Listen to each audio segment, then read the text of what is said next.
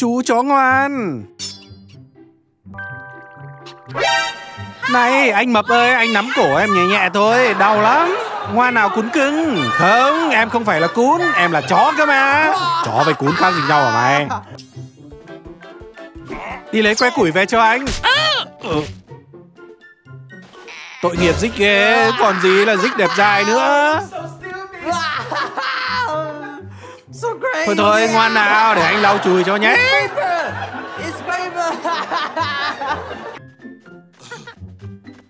Đây củi đây Nhận lấy đi thưa ngài. Thôi nè Không chơi nữa đâu Chán lắm rồi. Tôi là ô xin cho nhà các ông à. Này, bánh đây ăn đi anh Rồi tha cho em nha. Không được, gói bánh này đưa đây Còn làm thú cưng thì vẫn cứ phải làm thôi. Đưa con chó đây cho chị Bỏ cái tay ra Tội nghiệp em bị nó hành hạ từ nãy đến giờ.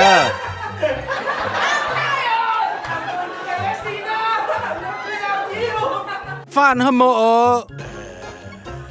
Sako lại đang khoe cơ bắp cuồn cuộn của mình. Ok, cắt, diễn thế đủ rồi.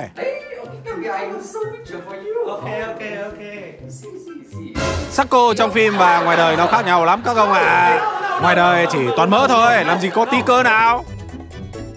Chú cá này dễ thương đấy Mỗi tội mặt hơi nhăn.